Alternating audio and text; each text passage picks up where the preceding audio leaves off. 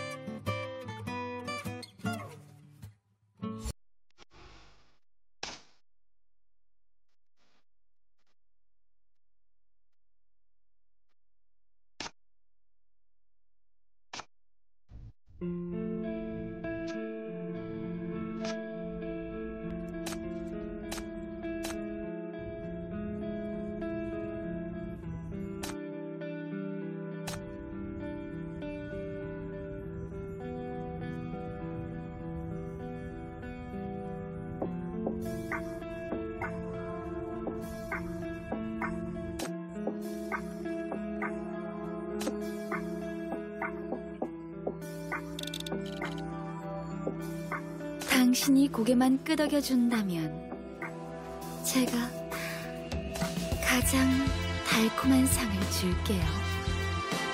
자, 입을 벌려봐요.